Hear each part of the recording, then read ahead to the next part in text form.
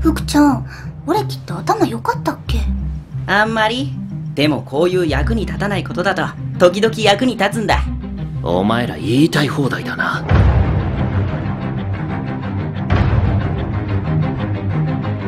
まあいい。先に帰れ。先に？どういうこと？だ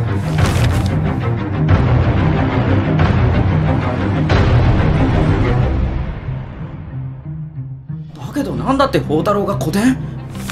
あこれは宝太郎のお姉さんからの手紙だね。インドから送ってきた。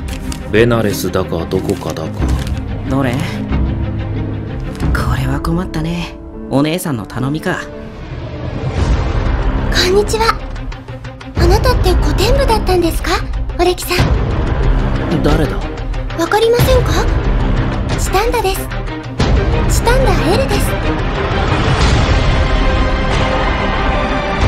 なんであれが英雄団じゃなかったのか。なんであんな表紙なのか。なんで評価なん。て奇妙なタイトルなのか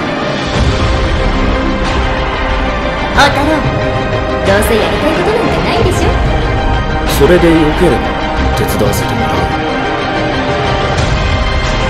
責任持って全部元通りにしますから。お願いします。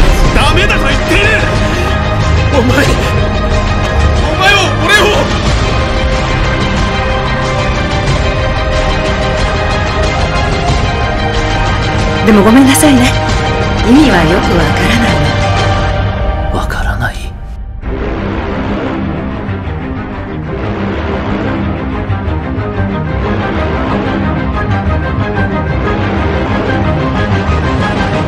愛スクリーム。私は叫ぶ。